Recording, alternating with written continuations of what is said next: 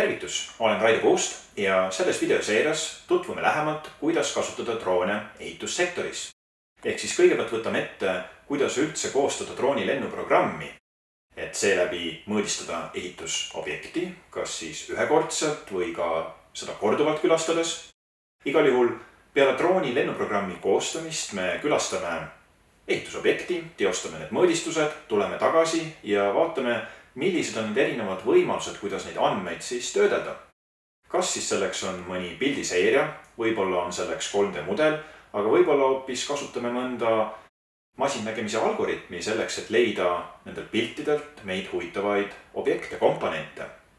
aga alustame algusest, ehk siis kõigepealt vaatame lähemalt, kuidas koostada drooni lennuprogrammi.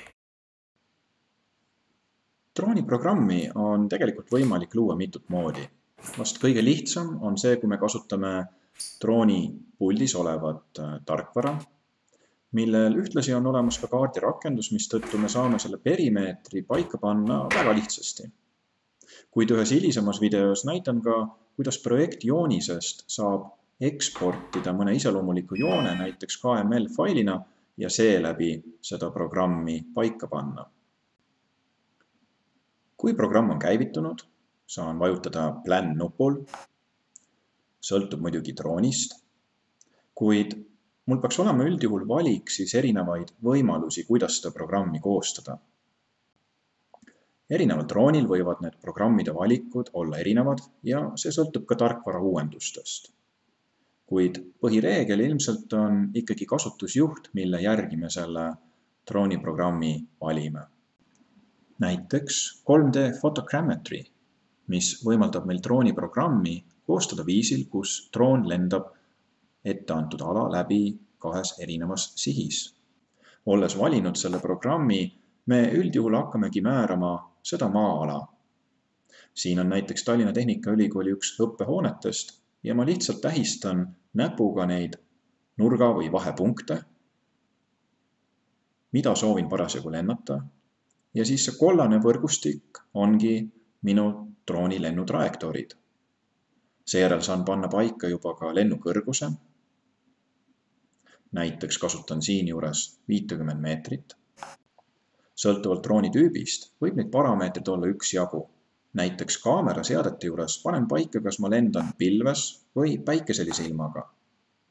muudan ka kaamera nurka, mille antud juhul valin miinus kuuskümmend kraadi.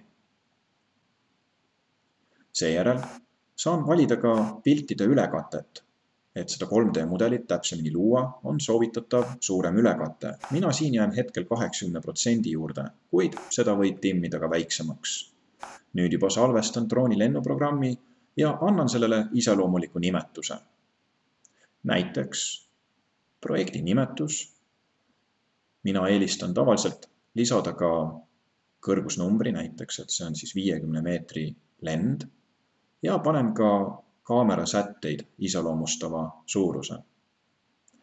Neid seadistusi saan ma hiljem ka muuta ja kas siis olemasoleva programmi üle kirjutada või salvestada selle uue programmina.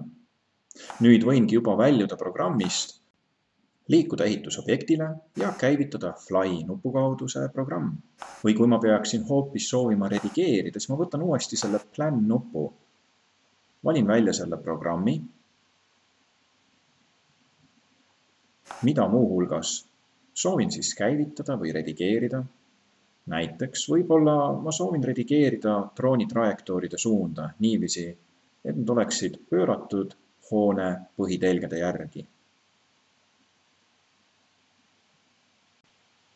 ma saan muuta ka kõiki teisi sätteid ja seejärel otsustada, kas ma tahan olemasoleva programmi üle kirjutada või hoopis salvestada selle uue nimetusega ja võin taas väljuda redigeerimise või lennurežiimist. sellega oleme sisuliselt programmi loonud, nii et võime asjad kokku pakkida, minna objektile ja teostada selle ülelennu. nüüd järgnevas episoodis vaatame lähemalt, kuidas projektjoonist kasutada drooni lennuprogrammi koostamisel.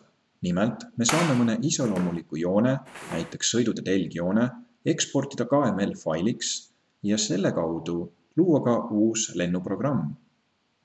ehk siis lennuprogrammi koostamegi KML faili baasil ja me saame seda teha väga erinevat moodi, näiteks 2D lineaar seades või 3D photogrammetry, sõltuvalt sellest, milline meie KML fail on.